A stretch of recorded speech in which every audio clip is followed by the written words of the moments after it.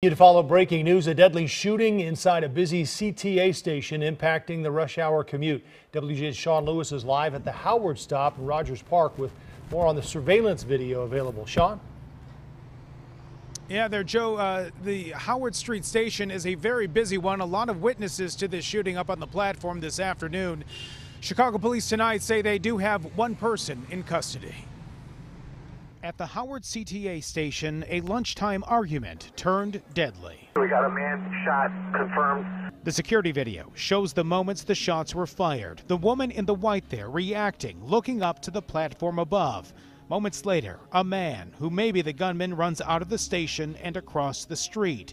The 20 year old victim, still on the platform, familiar to police, they say, was shot in the neck and back and rushed to St. Francis Hospital in Evanston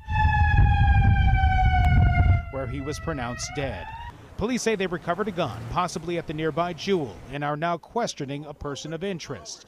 Residents in Rogers Park say this area's actually gotten safer in recent years. A lot of the brothers in the neighborhood, they don't want to see this kind of trauma. Anything, anybody that's doing business or doing anything up here, they don't want this kind of action, you know. So the fact that it's on the border of Evanston and right in Chicago, that means that uh, it's going to be taken care of.